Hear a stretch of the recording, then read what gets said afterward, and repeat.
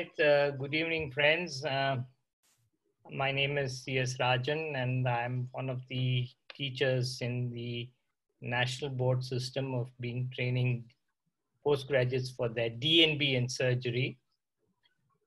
One of the requirements of the course for both university-based and national board-based studies is the production of a small amount of personal work, which was referred to as the thesis.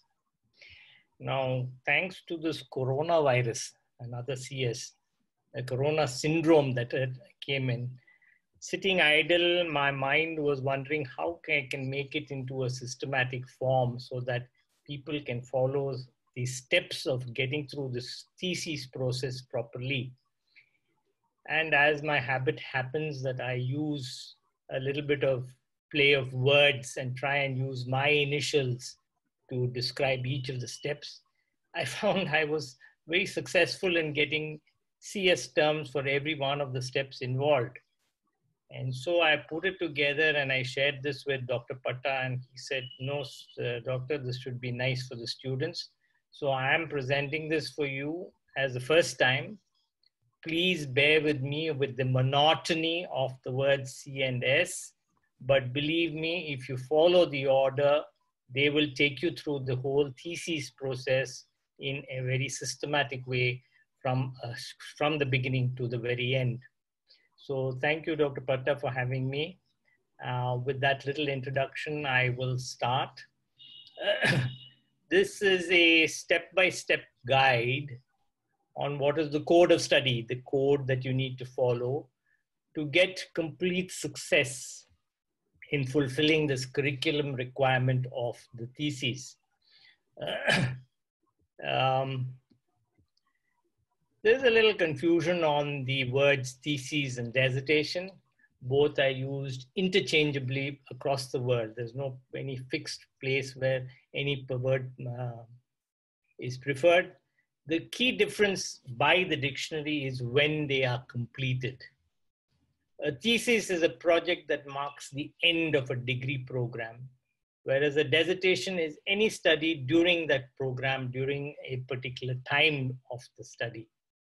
Since this thesis is part of submission along with your examination results for the award of your degree, this study is going to be referred to as a thesis and we shall use that word to describe what we have to, what we are talking about. I have brought this uh, C and S as my initials. I don't know if those who have followed me, I've written the CS for intercostal drains. I've written a CS for empyema. I've written a CS for communication skills.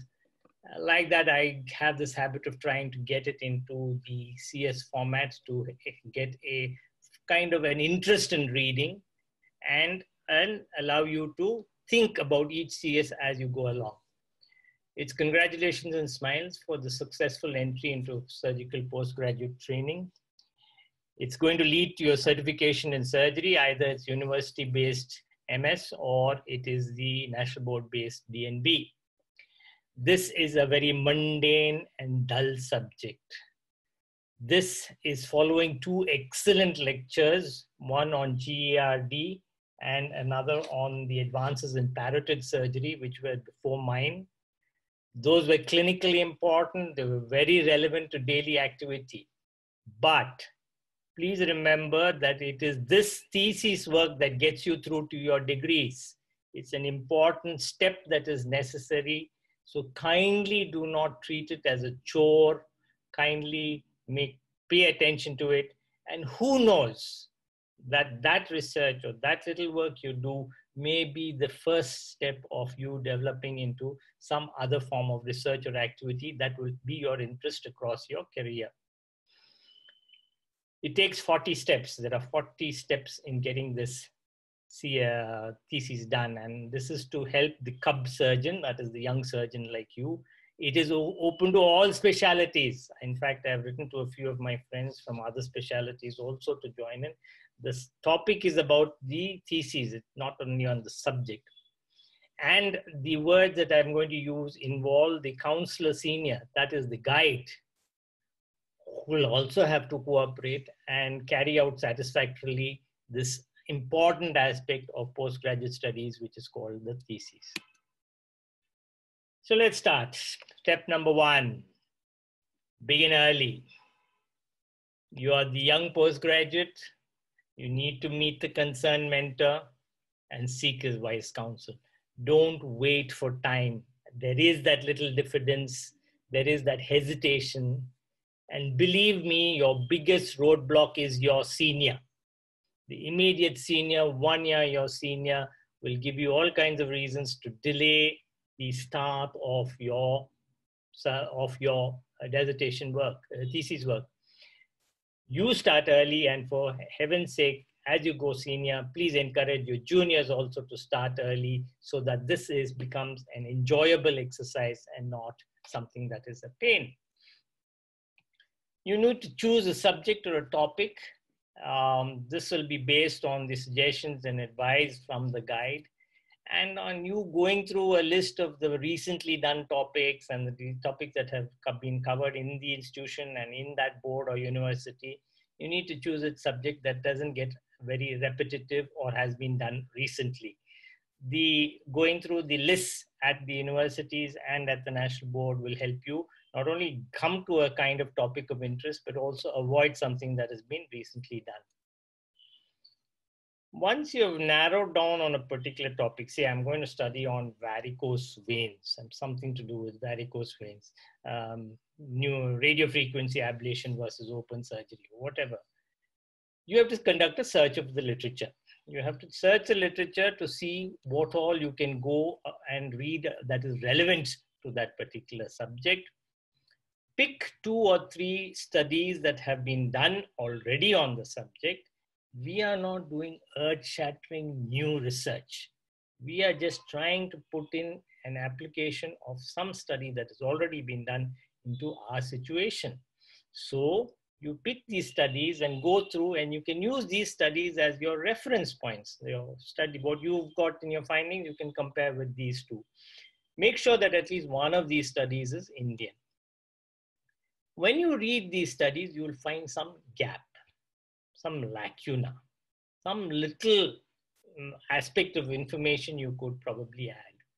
So an example would be the, uh, the um, role of BMI in the development of varicose veins and the response to treatment. Look for a lacuna, see if somebody has studied that.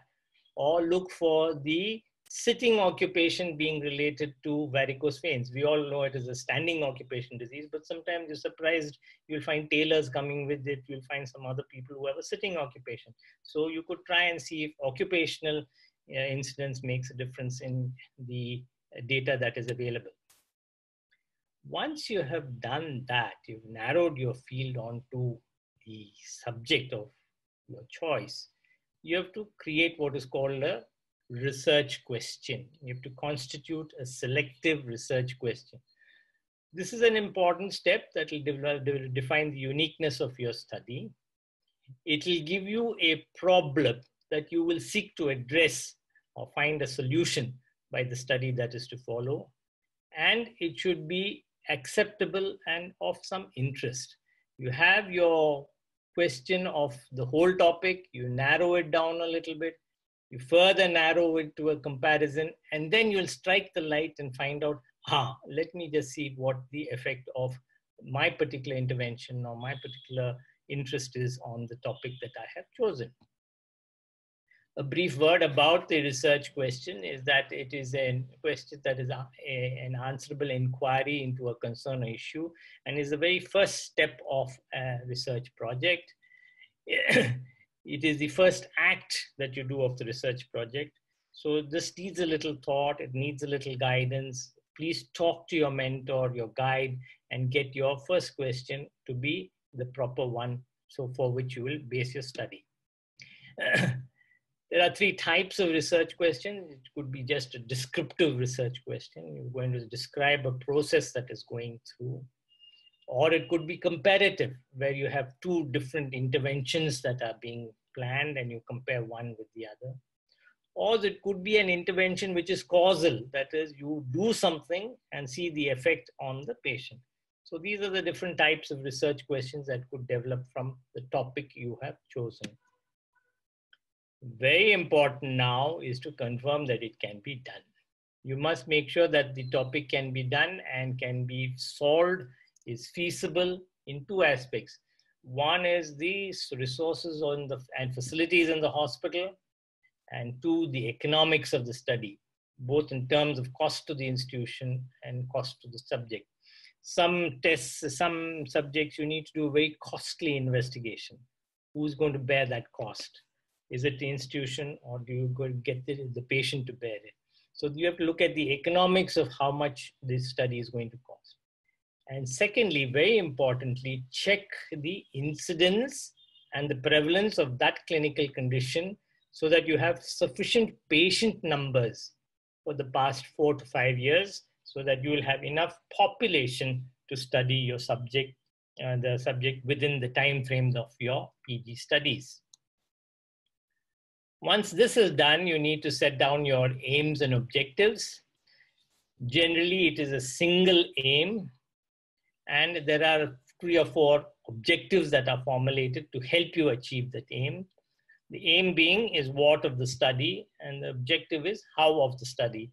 Again, going back to my varicose veins story uh, subject, if we want the aim is to subject to see the effect of radio frequency wave ablation versus open surgery in BMIs over 30 or 35. The objective is to see the clinical symptomatology, the presentation, the investigation values, as well as the uh, intervention, time of intervention, post-operative periods, and also the recovery periods, man hours lost from work and things like that. So all those can come into your objectives, but your single aim would be to compare these two in this particular population. This will also give you the title of your subject. I'm going to be studying this, and that will kind of give you a better focus. Once you've done that, you have to find out how you're going to go about it. And this is done by the components and schemes of the materials and methods. This needs to be followed as how you're going to do the process. It is the working plan by which you will do your study, the uh, materials that you need, the interventions, the, so, the uh, equipment that is necessary, and the other ancillaries that go into making the study. This is where we all make a mistake. We leave the statistician out. We must go and meet the statistician immediately and talk to him. The statistician is the most vital person in a study, especially for us medicos who have a very poor background knowledge of statistics.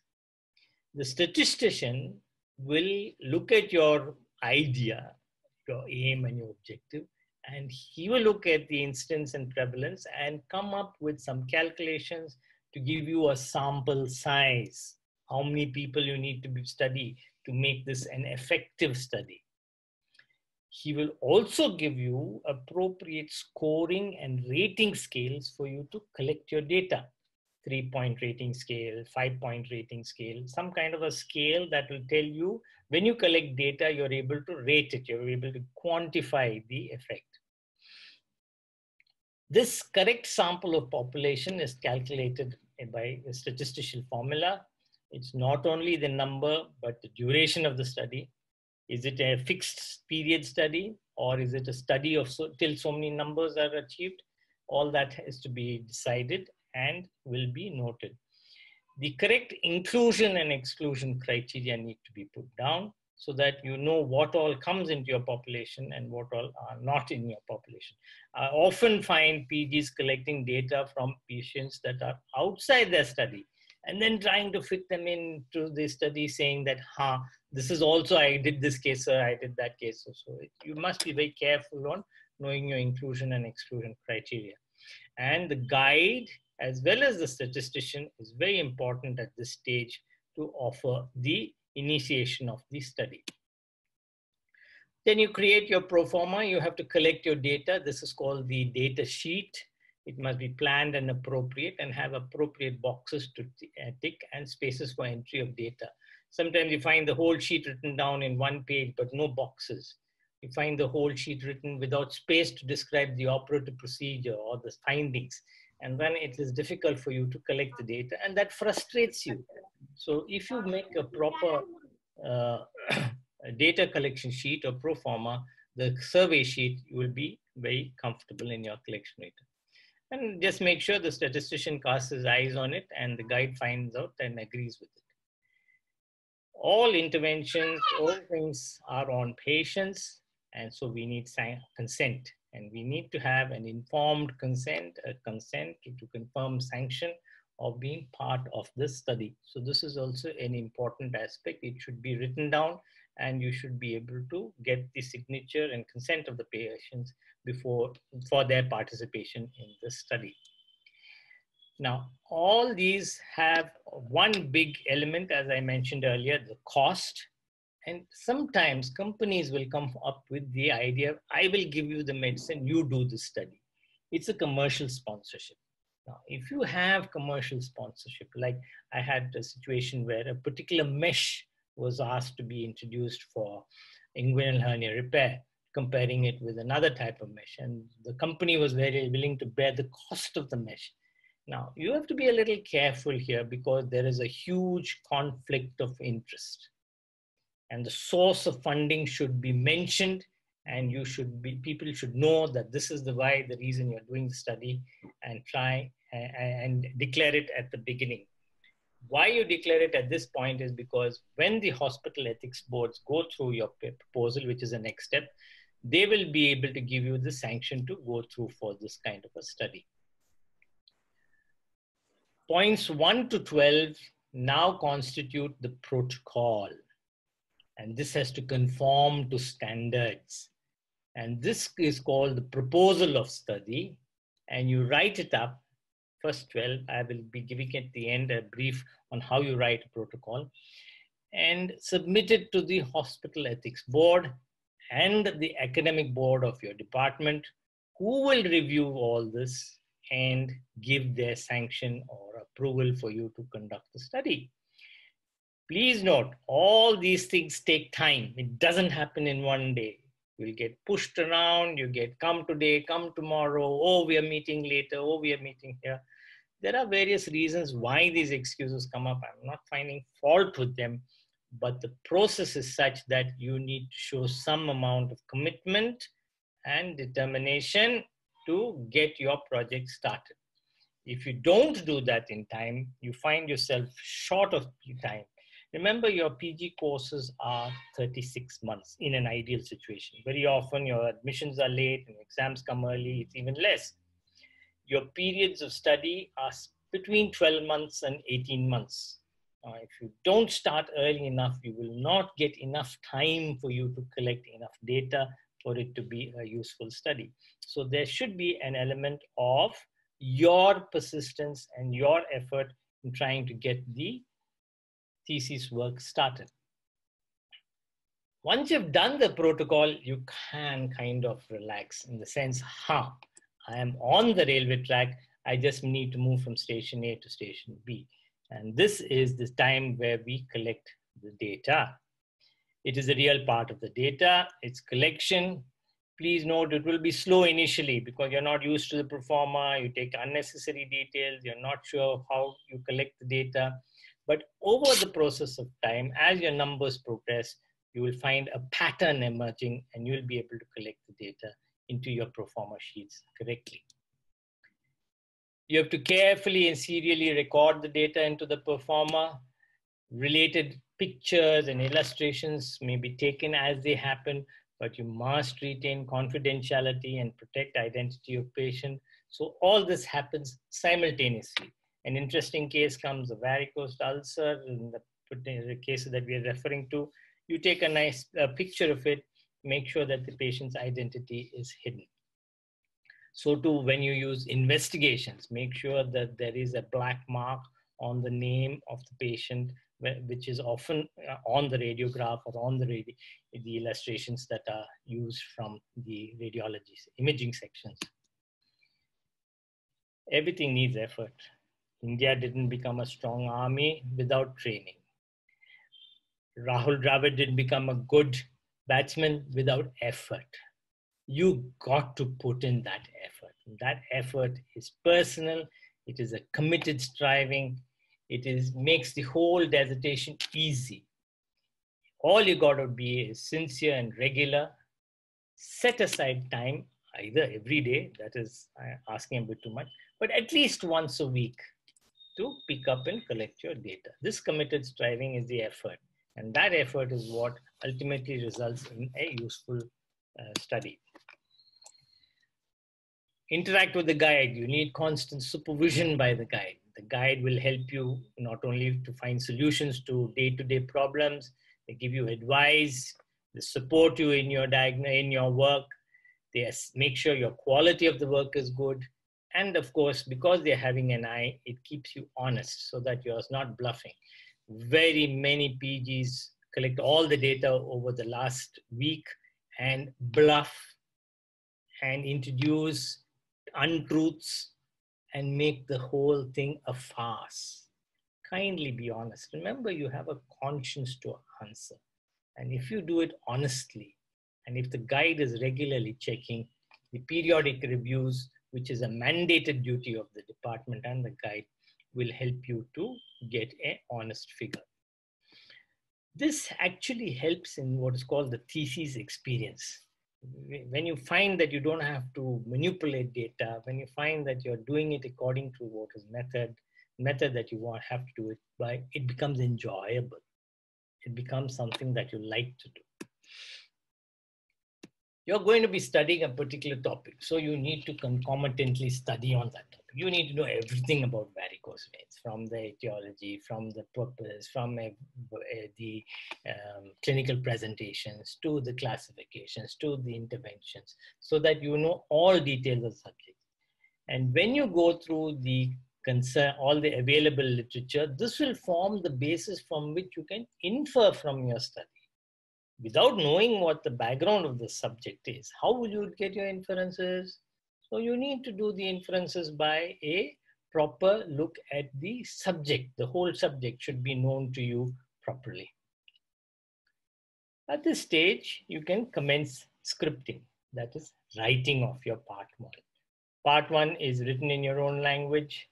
You have to understand certain issues because you must know what is ownership of information, you must know the implications of copyright. You must know the costs of information. These are all little things that creep in. Costs of information are now covered because most libraries are digital and are available for students at low cost or free connections. The ownership of the information, you must make sure that there is no copyright objectionable statements there if it is such is being used for uh, reference, the proper reference should be given down and you cannot borrow that information and put it into your study. A very strict no-no, curb strictly this attempt to cut, copy and paste. In some ways, I'm happy that I did my dissertation 30, 40 years ago where I had to write it out. It was handwritten and that handwritten pages were given for submission for correction. And finally, we had only one typewriter to type out the whole thing. It was a big chore. Today, you have computers, you have word processors, and you have cut, copy, and paste. For heaven's sake, don't do that, please. Because today we have, as guides and as seniors, I'm also part of on the board of the national of the Indian Journal of Surgery and the editorial board. We just have to put in a review of literature software and we get the words out. Similar words are picked out, similar sentences are picked out, and in no time we can make out that this has been copied from so and so article and put down here verbatim. So please try to avoid that. So no cut, copy, paste. Now you need to sort out the data, the data that you have collected from, from statistical analysis from the pro forma. You have to go back to the guide and say, what do I put into this? What do I put into that table? And they will give you, it's not a very difficult thing. You can do it on your own also. You need to create a few tables, age incidence, uh, symptoms incidence, the findings, the preoperative assessments, you know, create various little tables that are, are created for the analysis. Here again, we use a lot of statistics. The statistician is very important. It helps to break down the data for analysis. And the student must also know and comprehend the statistical package that is going to be used in the breakdown of data. There are various softwares available. And it's nice that the statistician does it, but you must know what information is being extracted from the data so that you will understand what you have to write and describe. It involves an incomprehension of medical statistics. And for this, I feel that every student should buy a small basic book of medical statistics and read it and learn. Part of the dissertation work is to make sure that you also are benefiting from the process and knowing about medical statistics. Every article, every journal that you read, the data is presented in statistical form. And unless you know this data, unless you know the break, breakdown of this kind of data, you will not understand articles. And you can never critique an article. An article. Journal reviews, journal criticisms are all based on what you learn during your thesis process. And it is this thesis process that helps you in your career it is important. These are little bits of information that people don't talk about when they do the dissertation. And that is why it is a often looked down upon chore. But actually, it does a lot for you. You learn how to collect data, you learn how to put it into statistical forms, you know how to interpret these statistics, and this kind of interpretations can be taken forward into your career. Charts and sketches, yes, this is one thing every PG likes to do. You go and put in all these various colorful things. If you go into a Microsoft Excel package, very nicely, you can put all these graphs, make it colored and all that. Yeah, they're nice, it looks nice, but make sure the charts and sketches give you correct and appropriate data. The data, the inference that comes out must be proper once you've got this data down, you have to search the data. You have to analyze the data. You have to look and see what facts are emerging. BMI is less than 30, spend five days in the hospital. BMI is more than 30, are spending six days in the hospital. Is it significant? Is it going to be made bigger or worse for the treatment interference? These are the ways in which you look at the emerging data. And you need to take this data that's coming and relate it to your primary aim of the study and the objectives by which how you are going to do the study. Once you've got all these data together, you have to create significance. You have to run through a few of the correlations and significance values. You must find a p-value for many things. Today, of course, people are questioning the importance of p-values and how figures are adjusted to get p-values it all stems from the fact that basically there's a certain amount of dishonesty going on. Of course, they say there are three types of lies lies, damned lies, and statistics. You can always vary your statistics to get information to your to suit yourself. Try to be honest, as honest as possible. And make sure that the significance agrees and it works with your aims and objectives of your study. Now comes what is called the discussion, what I have written down as comprehensive siftings. You have to see, compare your work with so-and-so study of India, so-and-so study of the a urban population, so-and-so study at a university, and if necessary, even a few studies from abroad. When you look for studies from abroad, you'll get studies from you know, some countries like Turkey or Korea and other places where they would have done a lot of work on a particular topic. And you have to be a little careful in interpreting because their socioeconomic um, presentations are different from ours and we cannot directly offer comparison. So it's better to compare with previous the discussion is over. You'll find out the differences that will help you to get your points of view about your aim and objectives once you've got all these things down, you need to write down your conclusions that this is the way we down in relation to the aim. What were the conclusions? One, two, three. In relation to the objectives, extra information that came in from the study, and based on these things, provided they match the aim and objective, you can formulate a few recommendations and uh, tell uh, so that is part of your study that will tell people that this is what my study has resulted. These are the findings, so I can give you a few recommendations. Only now, after you proceeded and got down to this level, do you begin to write your second part.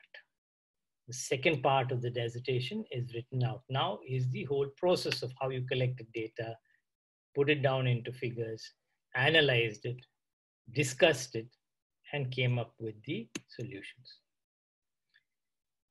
Another thing that gives a lot of trouble to people is the references. References must be composed serially. It's a tedious task. Each piece of work that is cited by you will get a unique number. You have to arrange it in the order of citation. And if you use the text, the uh, reference two or three times, use the same number each time. And always write the number down as a small superscript that it's alongside and that should match your uh, reference list. Now that reference list is put together in what I call compile and stack. It's the bibliography, the whole bibliography. We have the lovely Canadian system. It's the referring example, uh, Vancouver referring example, and that is used as the standard. It's most often uh, not done properly. Many evaluators look at a thesis and look at the references have they written the references properly and have they relate to the um, superscript given in the first or the second part of that reference. Now, if that is wrong, it leads to thesis rejection. It means you may have done a study well, but you're not careful in putting it down in proper order and system. Surgery is also something that is done in proper order and system. Unless you are having some discipline in how you do things on the surface, how will you have discipline when you're doing your surgical work? You need to develop these kind of little acts of discipline so that you become better ultimately as a surgeon. Concerning snaps, I've already mentioned that you need to number them. You need to write a proper descriptive legend and insert it into the appropriate pages. Relates to both first part and second part and that you need to be very, very strict on confidentiality. Confidentiality supreme, especially with illustrations, is an important thing, the patient's identity to be, never to be revealed. And this goes through for the illustrations used from subjects for the study. After you've done all this, you realize, oops, there are a few things, there are some limitations. My period of follow-up is not big enough. My population was not the ideal population. I had a bias in the selection of patients. And so these will add relevance to your study if you can put your constraints and strictures, the limitations of the study, the limitations with which you have come up with these references. The whole dissertation revolves around the abstract. It's when you've written a proper abstract, which comes in the front of the dissertation, that the evaluator, the person who reads the dissertation, gets the interest to read the rest of the dissertation. It is very key to get the attention of the evaluator and the assessor, and the intention is so that they are get their attention to see what they can learn from the subject, and that is the parameters, useful parameters of uh, assessment. You can also pick out a few keywords and keep it because in case you need to publish it, these will be the words by which you can get the publications in. Surprisingly, I've written the introduction now at the end of the study. Yes, there will be an introduction in the beginning in your part one when you submit your protocol, sometimes it's necessary to revise it a little bit in light of the findings that you have come and modify your introduction statement. Not change your aims and objectives please no. Modify your introduction statement so that you give the background of the study more clear and the people are able to read it and understand. It's best written at the end and is the but is the first page of the study. It should evoke the interest in the reader to want to go through the whole study. Corrections and scrutiny. Here comes the runaround. You submit it. These are the corrections. I want to see it again before you submit it. You make more additions. You change again, write another draft. You get more corrections and it comes. Yes, it keeps going on and on, but it's not an endless cycle. Once you're able to correct it and get the inference properly, because remember, the senior is guiding you by his vast experience, his ability to make sure that the data is, is being presented properly. It's also his responsibility because he's the guide. His name will be involved in question if it is not correct. So there is a little bit of a runaround. Unfortunately, personality bias and interests do click in here. I would like you to maintain a cool composure and a calm head and get this thing done properly. There is a long discussion that is involved with the academic boards of the departments, and they will give you the relevance of the study, the approval of the findings of the study, and a formal acceptance of the study. Once this is done, this goes through for a little up and down, batting keeps going on. You have to take quite a few runs, no boundaries here. You have to go through the process of building up the approval. Only now will you go to the printer and binder. You must choose the correct font, line spacing, margins as dictated by the control body. You have to proofread. There will be typographical and topographical errors. Don't be in a hurry to take that final printout and then put in enter, mm, enter changes with the pen. That does not look neat. The book has to be bound. You form the certification pages, the guide, uh, and for the guide and the institution, acknowledgements. Please acknowledge all those who have helped you. You have to find the appendages as the pro forma as an appendage, and your master data collection sheet should be all entered at the end. All these bind together to give you a volume my general instruction is that a good dissertation is between 80 to 100 pages, nothing more. Please do not produce voluminous data, voluminous uh, dissertations. If you find your discussions are taking a lot of time, reduce your first part. Reduce the inferences that you need. That uh, use only those part of the that of the first part that is necessary for your inferences of the second part check all statutes are met. You know your controlling body says i want it in this format i want this i want that and uh, uh, all these things have to be done properly. The national board is pretty strict on all these statutes being maintained. I am a corrector or i evaluate dissertations and i find that these statutes sometimes don't get written and met and then we have to ask for clarifications and corrections you have to go to the chief for the signatures. This is the final approval. This is the last but one step that is necessary. You go to the department, go to the guide, go to the head of institution, get the signatures and seals because that certifies that this is genuine conduct by the student as well as the place and location of the study. So that gives you the value to the study complete stipulations. You have to pay some forms and pay some fees. Please fill these forms out properly. Some bodies, especially National Board, ask for the same thing in an electronic format. So you have to make a CD of the whole thing in the proper way in which you've written it out. The same things come out in a CD format, and that has to be sent. Delays in acceptance often relate to these steps you have not paid the fees, the receipt number is wrong, you have not sent in a CD, or the CD is not opening, and you have some silly reasons why the student's uh, uh, dissertation gets delayed in evaluation. And you must be very vigilant at this step. Imagine after all that effort, you finally go and goof it up at this point is not in your favor. Clock submission. Please submit before time. Do not miss the deadline when dissertations reach after the deadline, they get put into a shelf by some clerk, some person who's in administrative duties, and it gets mixed up and it gets lost. And you find that the uh, dissertation is not sent for evaluation. You need to retain the speed post tracking numbers and other acknowledgements of submission until you finally get the acceptance of the thesis.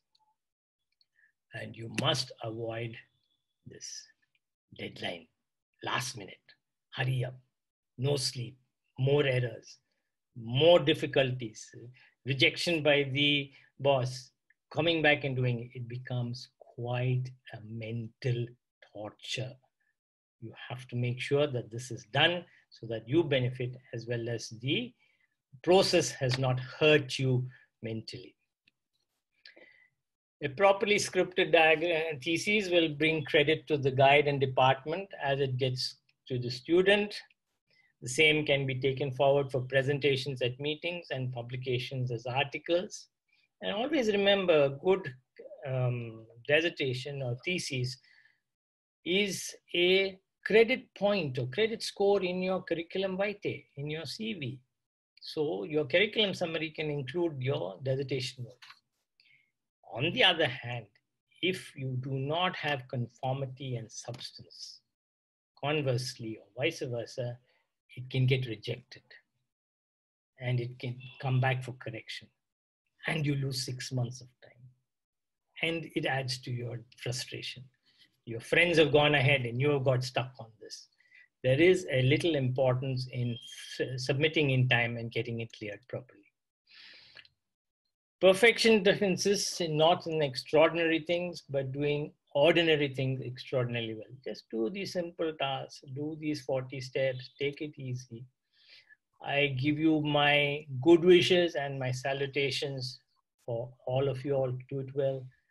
Good luck in your thesis process. I hope this little talk has helped you. It will be available on the Facebook website. You can take it down. this is the way in which the protocol has to be written, short 10 to 12 pages of stuff. This is the details by which you do it. Please remember, lot, bottom line, there's grammar. There's a lot of importance to the English that is used in the um, material of the discussion and the, uh, the write-up. The chapter format in general, how you make the whole book. In part one, what are the topics that need to be put in? This review of literature, histological chronology, and related anatomy, physiology, clinical aspects need to be written, but should be brief. It should not be exhaustive. And the third part is written mainly with everything that relates to the study, the results that you've got, the conclusions that have come, the recommendations that you put forward, and a properly scripted bibliography. The bibliography, please follow the Canadian style. It is the Vancouver system where you have multiple references, where the names come first, the title of the paper is next, the journal, the year of publication, the edition, and the page numbers in a sequence so that you do not miss it. Today we have electronic forms of data. So that also has a particular format. You need to follow this and write down the appropriate website from which you take it follow the order. It's there uh, all over the net. Everybody has it. You can do it. the references, this is my references for the art, for writing up these things. These are the people that, there's one evidence-based surgery and research methodology. It's a primer written by Dr. Lakshman and Dr. Ramakrishna. Very nice for you to write down your dissertation and produce evidence-based surgical work. There are guides to writing a dissertation available on the net. And Dr. Ramakrishna's little book on medical statistics for beginners is also a useful uh, adjunct to the dissertation studies. Manish Paul is a good personal friend of mine. I had had personal communications with him. He is an administrative gentleman and he helped me to write down a few of these things. Thank you for this patient hearing. I hope I'm not bored you stiff with the number of CSs this evening. The final list of all the CSs is here in this place. Thank you and good night. I'm available for questions. Um, I'll see what Dr. Patta has to say now. That's a Wonderful lecture, sir. I'm really, I mean, uh, uh, so magnetic and, uh, you know, the, your diction, your uh, vocabulary and the CS everywhere made a lot of sense. Thank you so much for such yes. a wonderful lecture. Uh, the students, if any one of you want to ask a question or anyone wants to make a comment, please. Anyone? The chat. Yeah, a long time, not Rajesh. Hi, Rajesh. How are you? I'm fine, sir. Tell me. Congratulations, sir. Also, is CS, sir. Oh, good evening, sir. Good evening, sir. Sir, I have a question, sir. Yeah. What happens if I am a PG and then I press, I put the it should not happen, but suppose I uh, submitted the thesis. Yes. And then you, as an uh, evaluator, find that the topic is useless uh, relevance of topic and the importance is it, it is important but the actual thesis does not relate to finding something really new or extraordinary. Okay. if the process has been gone through properly it may be a useless topic the, you know, the, no I, I just give you an offhand example sir. Yeah. 100 cases of cervical lymphadenopathy i do a thesis. Yes. It's very well done but will you accept it sir no, I won't. But what is that 100? What did you do in that 100? What was exactly. your no, no, that what I'm trying to say is if that gets rejected as a PG, what do I do, sir? No, you have to redo the formatting, sir. That's all. 100 cases is your sample. Your topic is cervical lymph node. In that, what has been your specific aim and what are your objectives? Relationship of uh, FNAC versus open biopsy or size of node related to ultrasound findings, something you have to break it down into something so that you are using those 100 cases to extract some information. The exactly. way in which you do it and how you put aims and objectives into that. That is why raising the research question, setting up your first research question is very primary. You can't say, I'm going to do 100 cases cervical lymph nodes in that, what are you trying to do? What question are you going to put in? Why does the patient after FNAC take longer to have resolution of lymph nodes than if I do an open biopsy and start ATT? So, or specific treatment. So, some kind of a research point, uh, some kind of a research fraction should be extracted, made the question, and that is the aim and ability. So yeah, it is 100 cases of cervical lymph node relating to FNAC versus anti-tuberculous therapy duration, something like that, and then you get, get it gets uh, through. I hope that answers you, Rajesh. Yes, sir. Very well. Yes, sir. any any other comment or uh, yeah, Ashok? Sir, uh, can you hear me now? Yes, sir. Yes, sir. Sure. Uh, sir, I wanted to ask, what are the main points over which uh, the thesis are uh, mostly rejected? These are the four or five points. The first is the aim and objectives are not clearly stated in the beginning. It's very generalized. You have to narrow it down to a specific topic, and that is the why of the study aim. And the objectives are the how you're going about it Second, the in the data collection, you're collecting data not related to the aims and objectives. Like in the cervical lymph node case that was just discussed, you're collecting data as to socioeconomic status and um, uh, height of the patient and some other silly things when you're actually concentrating only on the intervention of the uh, on the patient. So the what work you do does not match your aims and objectives.